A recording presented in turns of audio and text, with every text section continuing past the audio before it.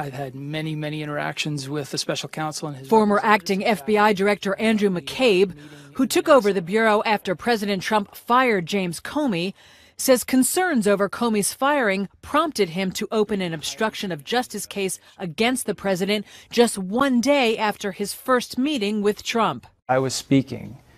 to the man who had just run for the presidency and, and, and won the election for the presidency, and who might have done so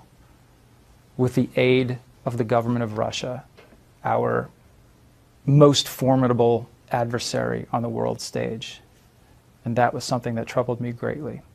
In an interview airing on CBS's 60 Minutes Sunday, snippets of which were released Thursday, McCabe also confirmed a New York Times report from September that talks were held at the highest levels of the Justice Department over whether the vice president and cabinet members could be brought together to remove Trump from office under the Constitution's 25th Amendment. McCabe also said he acted quickly in authorizing the Trump investigation for fear he could lose his job and the Russia probe would vanish. I was very concerned that I was able to put the Russia case on absolutely solid ground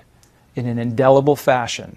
that were I removed quickly or reassigned or fired, that the case could not be closed or uh, vanish in the night without a trace. I wanted to make sure that our case was on solid ground, and if somebody came in behind me and closed it and tried to walk away from it, they would not be able to do that without creating a record of why they'd made that decision. McCabe, who's promoting a book about his time at the Bureau, was fired in March 2018 by then Attorney General Jeff Sessions, who cited an internal FBI watchdog report that found McCabe leaked information to reporters and misled investigators about his actions.